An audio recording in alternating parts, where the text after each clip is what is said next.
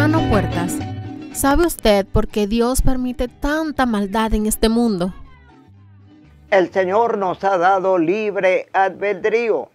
Dios hizo al hombre y a la mujer para que seamos felices, pero el hombre es terco, es desobediente, el hombre es rebelde, le ha dado la espalda a Dios.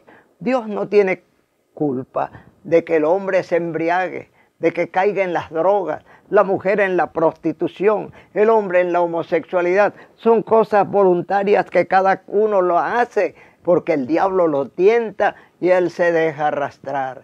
Te aconsejo en el nombre del Señor que te vuelvas en amistad con Dios, que reconozcas que todo lo bueno viene de parte del Creador, pero las cosas malas vienen de parte de nosotros. Voluntariamente te entregas al vicio, al pecado. Dios no tiene culpa de que tú hagas tu propia voluntad. Te aconsejo que te reconcilies con el Señor y que le des a Dios la oportunidad de brillar dentro de ti para siempre.